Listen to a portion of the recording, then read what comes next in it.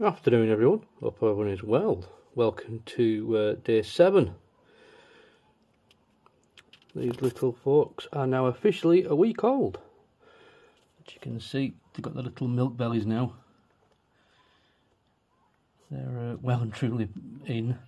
They've tripled in weight this week, which is good. Very happy with that. They're very manoeuvrable, as you can see. They're in the whelping box. They're very manoeuvrable Oh, of squeak there.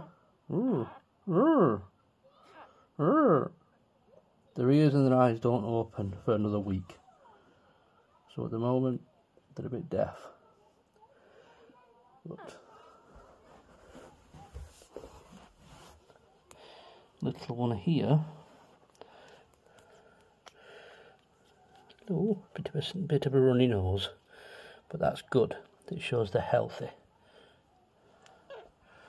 Trying to nibble on your fingers already. You're going to be trouble, you aren't you, mister? You're going to be trouble.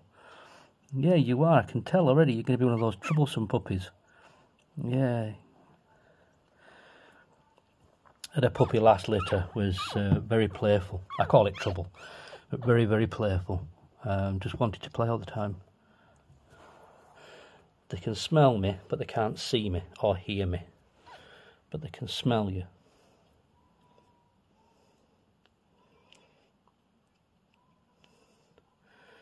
We've got these two over here. Heat lamp's been turned up today because it's currently snowing. So the heat lamp's been turned up to full. So keep the little guys warm. Go on, Mr. Man, you need to stay with your brothers and sisters. Stay warm together, okay? That way we can make sure everyone's okay. So you'll notice there's black uh, starting to come out on their faces, around the noses, um, there's a bit on their bellies. So we believe they're going to have some black markings on their faces. Going to be cool. Might be able to tell them apart then. Yeah. so cute. So cute. Sucking on each other's faces now. oh, mad heads. Look at them. Mad heads. Mad heads. Right. I will uh, leave you puppies to it. Thanks for watching, folks. I do hope you're enjoying this little series. Um, we've got another seven weeks to go this till they go.